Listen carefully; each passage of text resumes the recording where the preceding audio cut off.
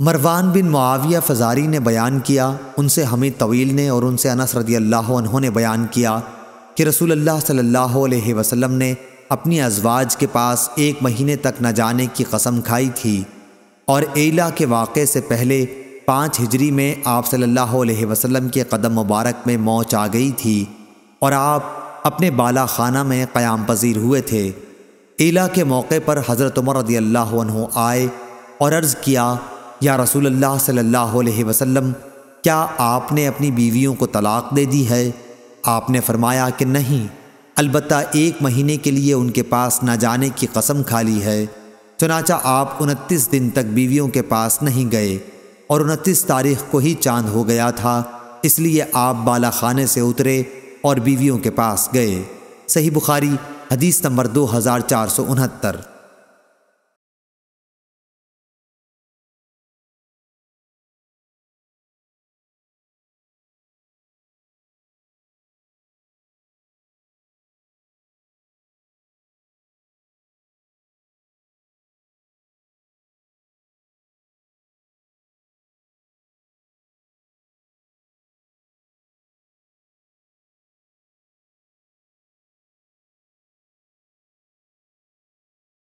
सुलेमान बिन हरब ने बयान किया, कहा, हमसे शोबा ने, उनसे मंसूर ने, उनसे अबू वाइल ने और उनसे हुजैफ़ा रदी अल्लाह ने कि मैंने रसूल अल्लाह सल्लल्लाहु अलैहि वसल्लम को देखा या ये कहा कि नबी करीम सल्लल्लाहु अलैहि वसल्लम एक कौम की कोड़ी पर तशरीफ़ लाए और आपने वहाँ खड़े होकर पेशाब किया।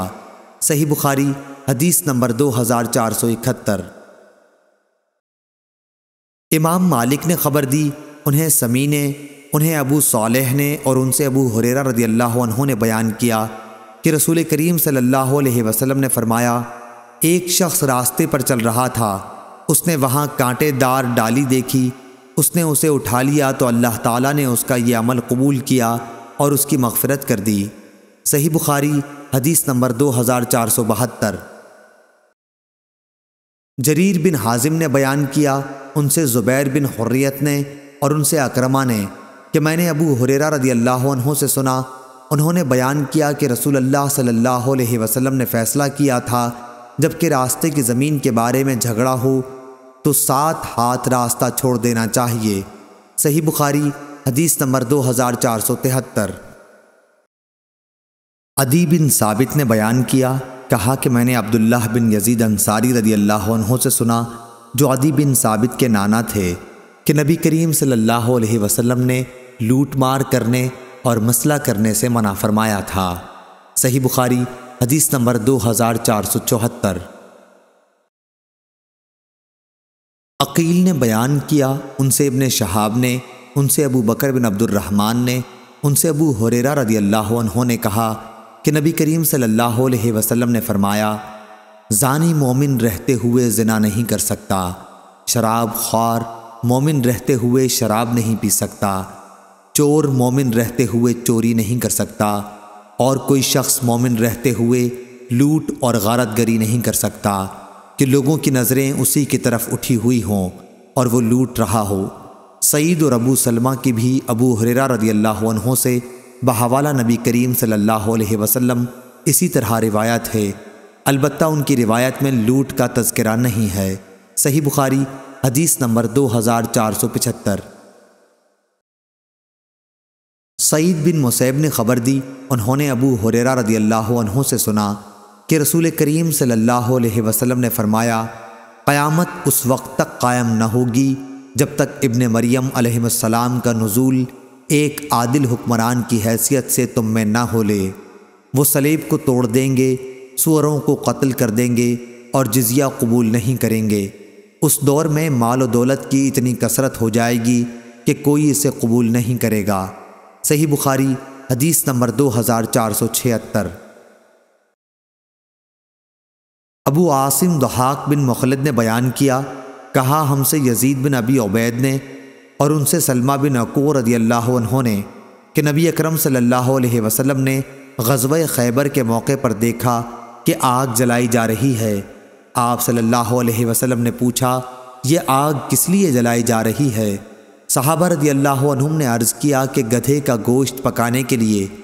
आ हज़रत सल्लल्लाहु अलैहि वसल्लम ने फरमाया कि, बर्तन जिसमें गधे का गोश्त हो, तोड़ दो और गोश्त फेंक दो।